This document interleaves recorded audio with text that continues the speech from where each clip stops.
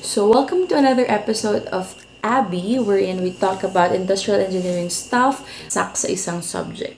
Bagsak ka sa isang subjects, subjects, isa, isang subject sa college, you have to repeat it. Bang magaling dapat sa English pag industrial engineering student ka po. Actually, Hey, what's up guys? It's Abby here and welcome back to another vlog. So, so it is, it is, kita niyo ba? Yeah. It is 2.50 in the morning. Hindi na po ako nakapag-ayos ng aking mukha. Hindi na nakapag-ayos ng buhok.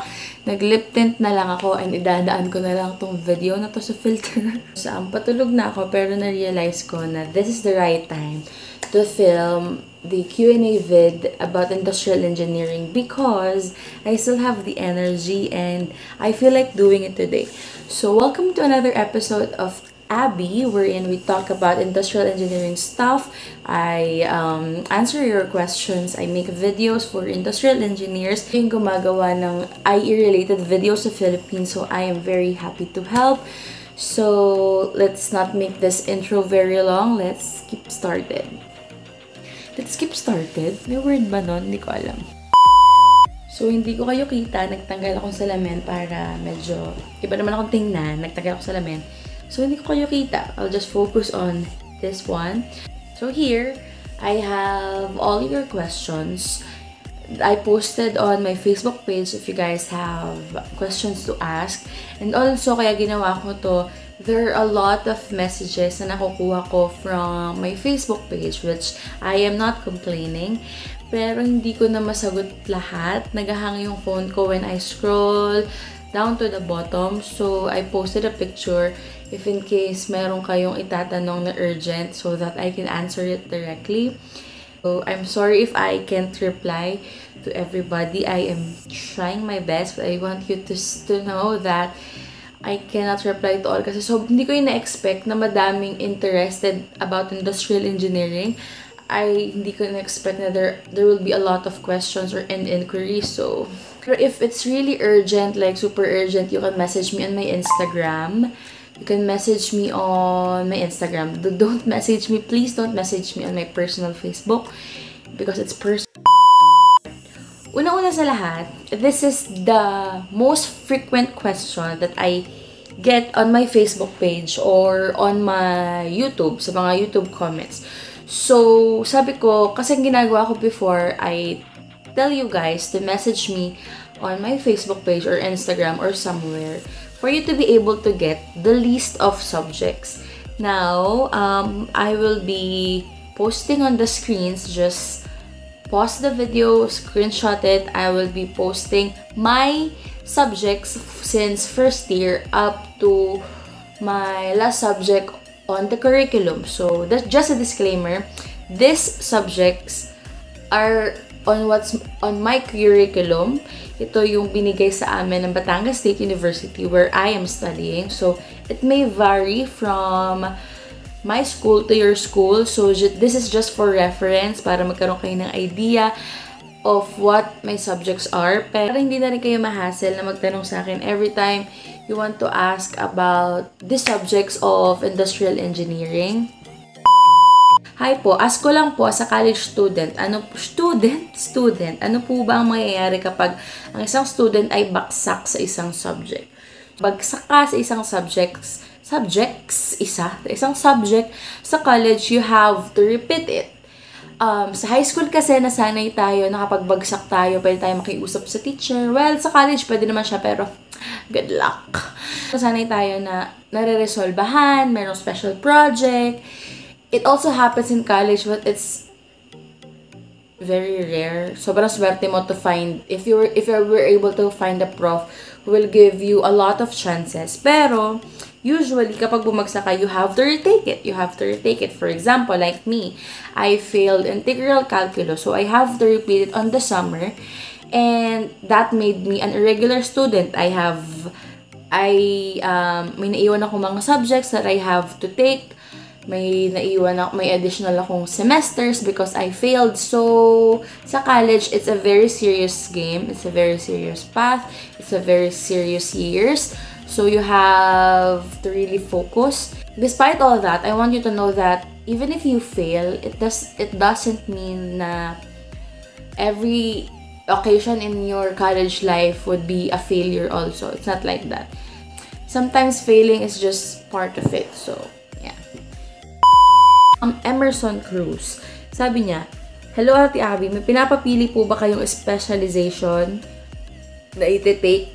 Nag-comment siya dun si, if dati nung wala pa ng K-12 on the old curriculum, um, engineering will just choose their majors pagdating yata nila ng third year.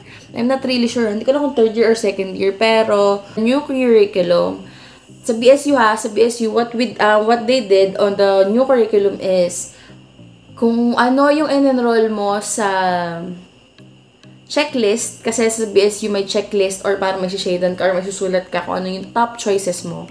Tapos kapag pumasok yung stanin mo, stanin sa required dun sa sa specific course na gusto mo, you will be able to get to that course.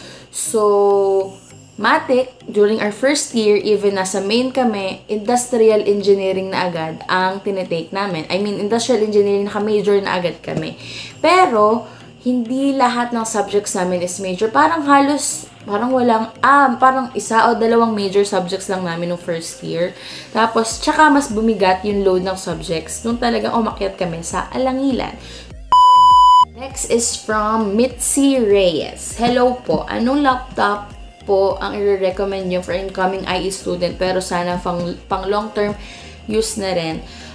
Uh, may nag-comment dito si Stir, Stirlford Fish, business laptops or ultrabooks. Ang sabi sa amin ng professor namin, if you are going to invest on a laptop, dapat yung core processor ba yung tawag yun? I'm not sure, pero core something. Dapat yung core processor niya is i-series at na merong quad processor motherboard. Parang ganun yung tawag. Medyo mabagal siya if you install AutoCAD, if you install um, for something for robotics. Um, medyo mabagal din yung hindi ganun kalaki yung um, hindi ganun kalaki yung storage niya. I'm not a very techy person. I'm not really familiar to this. Pero this is something I can remember from our professors. Correct me if I'm wrong ha, I am not really familiar to this. Pero yung i7 ang alam ko, yung uh, mga laptop ng Intel, Intel Core i7, um, it is good. It is the best for multitasking. Like if you have a lot of stuff to do on your laptop, on your computer, It's very good. Hindi siya mabilis mag-lag. Marami kang pwedeng gawin. Kahit marami kang tab na naka-open. Windows, uh, tab na naka-open. Kasi di ba usually, kapag maraming tabs na open, kapag maraming applications na ginagamit, naglalag yung laptop or minsan nagre-restart. So, mas maganda kung mag-invest na kayo sa laptop. This is from iprice.com, iprice.ph. We have Acer Nitro 5. It's 35,421.38. Pero yung sa klasiko na i-series, pero feeling ko mga i4 lang ata sa klasiko. Asus siya. It's, I think it's less than 20 Huwag kung lalabis man mga 21, ganon. May mga ganon naman kayong makikitang laptop. Basta magbibili kayo ng laptop, the best thing to do is ask is ask a professional or ask someone who really knows something about computers and laptops para matulungan nila kayo. Tapos sabihin sa kanila, um, engineering po ako, kailangan ko po mag-AutoCAD, may kailangan ako for drawing and robotics. So, may kailangan ko po na SolidWorks, madami po akong gagawing mga uh, presentations, kailangan ko po ng laptop na magagawa lahat yun. At the same time, maglalast ng matagal para alam niyo yun, parang hindi niya kayo papalit-palit ng laptop. From Kenneth Corporal. Ilang years po ang ginugugol ng IE student? Sabi daw po, 5 years, 5 years, yung additional 1 year po ba for preparation for licensure exam. Just to be clear, wala pong licensure exam ang industrial engineering. Um, unlike civil, unlike mechanical, unlike other engineering engineering majors, wala po tayong licensure exam. What we call sa industrial engineering exam is certification. Unlike the licensure test or the licensure exam, this certification is not compulsory. It's your choice if you're going to take this or not. There, it's advisable na i-take nyo siya kasi there are some opportunities out there that I think requires or I think would appreciate more if you have if you are a certified IE. So, ouch. Kung ilang years ang ginugugol ng isang IE, it's actually 4 years on the new curriculum. Pero, merong nag-comment dati sa video ko na bakit daw 4 years kami sa BSU pero sila um, on the new curriculum 5 years pa din. So, I'm not sure. I'm only speaking based on my experience. So, sa school namin, 4 years po ang industrial engineering. So, every time, madadagdagan na lang yon kung may mababagsak ng subject and you have additional semesters. So, from Sean Villamore. Required bang magaling dapat sa English pag industrial engineering student ka po? Actually, our Filipinos, it's not our first language. And we learn it only from school. Hindi natin siya talagang nakagisnan. What important is you learn the language because it's a universal language kasi kaya maganda na talagang knowledgeable enough ka about English. And it's also help helpful kasi sa IE we have a lot of we have a lot of presentations defense. We have interviews. You and it's also an advantage for you if you want to work abroad if you want to test opportunities abroad it would be for the better if you would be able to speak the language. It would be the best for you if you would try. Hindi kailangan na magaling ka. It's um kailangan lang you are trying. You are trying to learn. You are trying to speak the language. So hindi naman gone are the days that people are judged based on the grammar, their English grammar. So, next, from Jody Paula Orozco. Hi, Jody! Book recommendations ate. By the way, I missed you. Looking forward for the new vlog. Thank you. Si Jody, ano siya? Subscriber ko siya siguro. Tagal na. Lagi na siya nagko-comment sa videos ko. Sobrang tagal ko na siyang subscriber. Wala kasi kami, guys, na halos ginamit na books ang ginamit lang namin na book na uh, sa ano lang, nung nasa main kami, nasa main campus, mga minor subjects lang. And usually, what we have is the presentations from our professors. Yung mga presentations na ng professors namin, yun yung inaaral namin. Tapos, additional study from YouTube. Kasi binibigay din silang mga authors, halimbawa sa mga calculus subjects, binibigay silang authors ng books na pinagkukuhanan nila ng reference, yun lang yung kinukuhanan namin minsan. Minsan nasa syllabus din, binibigay silang copy ng syllabus. Next is from JDWP Stipy Horlickson. What to expect with the subjects and especially Calculus 1 and Chemistry for engineers? Calculus, part talaga siya ng engineering courses. Yung calculus parang siya yung base, parang siya yung base math of engineering. Though, kailangan naiintindihan mo yung formula. Kailangan may malawak kang knowledge about algebra. As much as possible sa mga nagme-message sa akin, lagi ko sinasabi, advanced study sa algebra. Mas palawakin nyo yung knowledge nyo sa algebra. And magsaulo ng trigonometric functions. Dito ako nadali sa um, calculus. So, this is the reason why I am irregular. So, for chemistry naman, I don't think major siya ng IE. Correct me if I'm wrong. This is from Luhan. Kailan po mag-start mga thesis, research paper sa IE? May thesis po ba every year sa IE? Marami kang mararanasang research paper making. Sa industrial engineering, you have, may mga minor subjects na nagre-require ng research paper. Meron ding mga major na, mga major during our second year na nag papagawa ng research paper. Ang pinakamabigat na research paper or something like that na gagawin nyo in industrial engineering is feasibility study. Especially ngayon sa curriculum namin, medyo according to our professors and my classmates, medyo mahirap siya kasi sobrang siniksik yung time frame. You have your methods, you have your methods research for industrial engineering. So, yun yung mismong thesis. You will take it on your senior year. Tapos, merong capstone project senior year din yon So, there are a lot of research paper making in IE.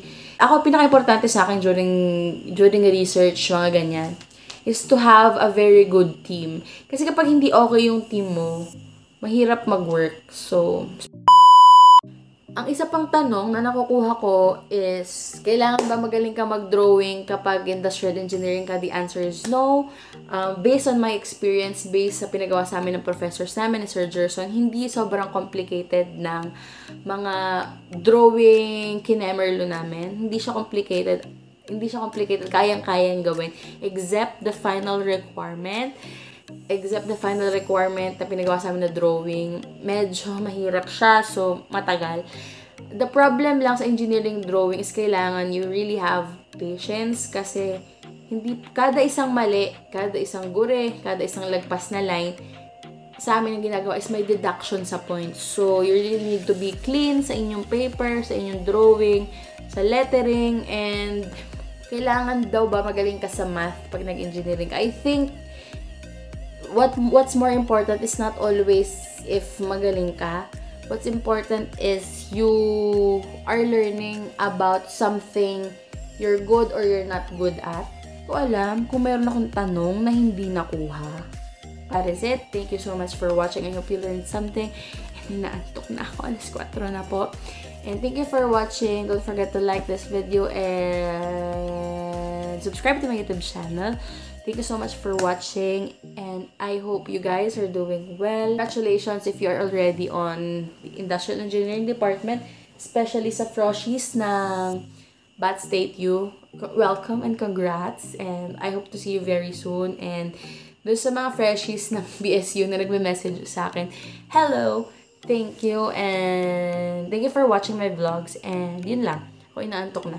Good night, everyone. And thank you for watching. Don't forget to like, comment, and subscribe. And always remember to make your eyebrows on fleek.